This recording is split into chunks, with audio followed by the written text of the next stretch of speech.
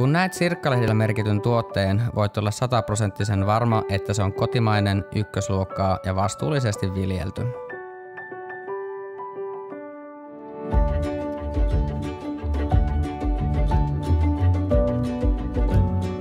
Mun vanhemmat perusti kannuksen kauppapuutarhan 70-luvulla. Aluksi tänne rakennettiin vain yksi kasvihuone ja viljely oli kausiluontoista. Nykyään kasvihuoneita on jo kuusi kappaletta ja me tuotetaan vuodessa yli miljoona kiloa kurkkua ja 500 000 salattia. Koko pintala on ympärivuotisessa viljelyssä.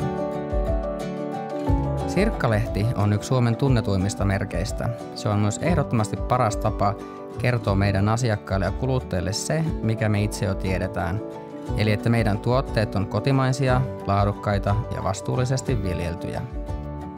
Sirkkalehden edellyttämä ympäristöystävällisyys näkyy meillä monessa.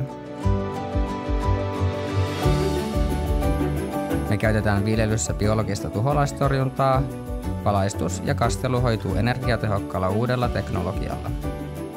Sirkkalehti on myös merkki siitä, että viljelysten ohella myös niitä hoitavat ihmiset voivat hyvin. Meillä on työntekijöitä, noin neljästä eri maasta ja kyllähän se jotain onnistumisesta kertoo. Kun kysyn, että mitäs kuuluu, niin saan vastaukseksi ison hymyn ja suomenkielisen hyvää kuuluu lausahduksen. Sirkkalehtimerkki on saavutus, joka kertoo, että tuotteessa on maan lisäksi paljon muutakin hyvää. Siksi me painetaan se meidän tuotteisiin aidolla ylpeydellä.